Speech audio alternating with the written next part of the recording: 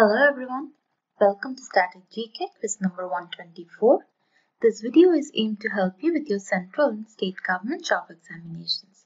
I'm with Trisha from GK today and I'll be taking you through this.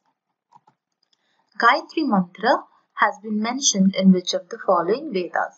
The correct answer is the Rig Veda. Gayatri Mantra comes from the third mandala of the Rig Veda. This mandala has 62 hymns, mainly to Agni and Indra. It is one of the family books, the oldest core of Rig Veda. This mandala also mentions Kikats, a non-Aryan tribe, which most scholars agree that was the resident of somewhere in near Magadha in modern-day Bihar. Which among the following Veda has been described as Brahma Veda? The correct answer is Atharva Veda.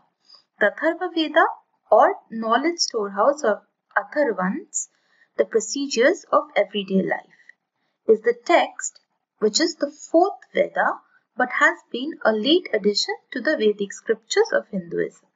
The Atharva Veda is also occasionally referred as Bhagavangirash or Brahma Veda after Bhrigu and Brahma respectively.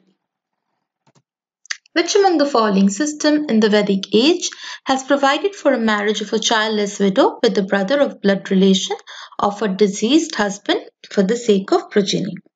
The correct answer is Niyog. An example of this practice can be found in the epic Mahabharata where uh, Ved Vyasa blesses the Kuru dynasty with heirs in death of King Vichitravirya.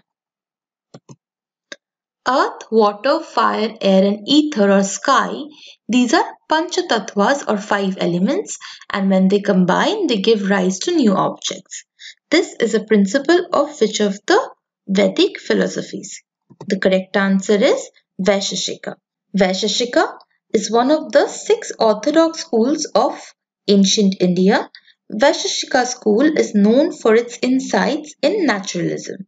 According to the school, knowledge and liberation were achieved by a complete understanding of the world of experience. Which among the following Mahajanpada was located on the junction of two famous ancient Indian trade routes, Uttarpath and Dakshinpath? The correct answer is Sursena. The kingdom of Sursena was an ancient Indian region corresponding to the present-day Braj region in Uttar Pradesh with Mathura as, as its capital city.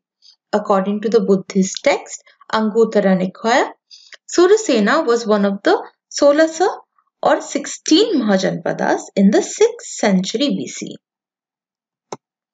In which of the following modern state most of the 24 Tirthankars of Jainism attained Nirvana? The correct answer is Bihar. Jainism in Bihar traces a long history since the times of 24th Tirthankara Mahavira who was born in Vaishali. Vasupujya, the 12th Jain Tirthankara, was born in Champapur, Bhagalpur. Vardhamana Mahavira, the 24th and the last Tirthankara of Jainism, was born in Vaishali around 6th century BC. Which among the following is true about Buddha? The correct answer is that he neither accepted nor rejected the existence of God. After Siddhartha Gautam became Buddha at the age of 35, having gained enlightenment, he began traveling throughout India and Nepal, teaching the steps that he took to reach a state of pure nirvana. It is said that while lecturing both loyal disciples and unacquainted seekers, Buddha made a point to dismiss the notion of a higher power. It is certain that he wasn't interested in discussing the idea of a god as he believed that it had no particular purpose for reaching the sought after state of enlightenment. King Prasenjit was a contemporary and friend of Lord Buddha. He was the king of Kosal. He was the ruler of Kosal. Savatthi was his capital. He succeeded his father Sanjay Mahakosala he was a prominent follower of Gautam Buddha who built many Buddhist monasteries. In which of the following works is the conspiracy hatched by Pushyamitra Shunga to eliminate the last Mauryan king Brihadratha mentioned? The correct answer is Harsha Charitra of Banabhatta. So Brihadratha Maurya was killed in 180 BCE and the power was usurped by his general Pushyamitra Shunga who then took over the throne and established the Shunga Empire. Pushyamitra killed the former emperor in front of his military and established himself as the new ruler.